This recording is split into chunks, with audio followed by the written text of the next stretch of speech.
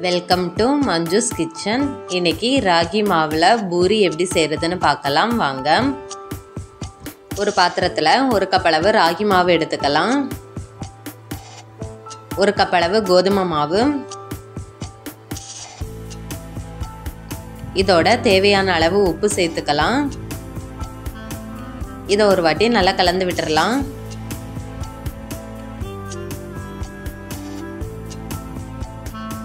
இப்போ நல்லா கலந்து விட்டாச்சு. இதோட கொஞ்சம் கொஞ்சமாக தண்ணி சேர்த்து பூரி மாவு பதத்துக்கு பிசைஞ்சு எடுத்துக்கலாம். மாவு ரொம்ப தண்ணியாயிடக்கூடாது ரொம்ப கட்டியாகவும் இருக்கக்கூடாது. பார்த்து பிசைஞ்சுக்கோங்க.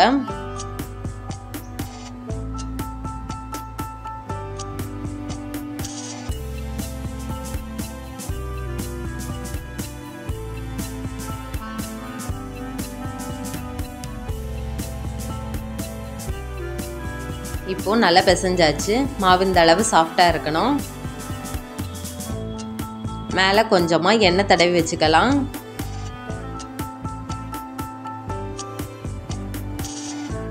இது ஒரு பத்து நிமிஷம் அப்படியே இருக்கட்டும். மூடி வச்சிடலாம். இப்போ பத்து நிமிஷம் ஆகிடுச்சு. மாவு நல்லா ஊறி இருக்கும் இதை கொஞ்சம் கொஞ்சமாக எடுத்து உருண்டை பிடிச்சிக்கலாம்.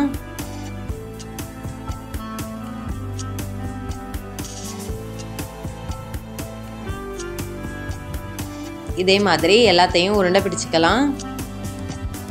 சப்பாத்தி கல்லில் கொஞ்சமாக எண்ணெய் அல்லது மாவு தடவிட்டு நல்லா விரிச்சுக்கோங்க. ரொம்ப நைஸாக விரிக்கக்கூடாது. கொஞ்சம் தடிமனாக இருக்கணும். அதை மாதிரி விரிச்சுக்கோங்க.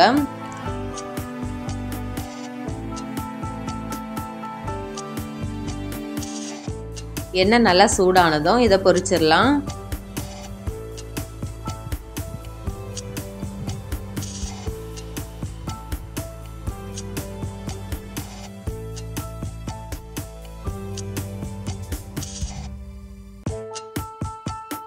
ஒரு பக்கம் வெந்ததும் திருப்பி போட்டுடலாம்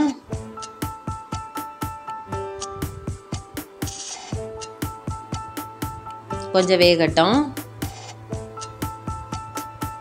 இப்போ வெந்துடுச்சு இதை எடுத்துடலாம். இதே மாதிரி எல்லாத்தையும் பொறிச்சு எடுத்துக்கலாம். பாருங்க எவ்வளோ சூப்பராக உப்பி வருதுன்னு. எப்போவும் ஒரே மாதிரி பூரி செய்யாமல் இதே மாதிரி ராகி மாவில் வித்தியாசமாக செஞ்சு பாருங்கள் ரொம்ப ஹெல்த்தியாக இருக்கும். அவ்வளவுதான். நம்ம ராகி பூரி சூப்பராக ரெடி ஆகியாச்சு.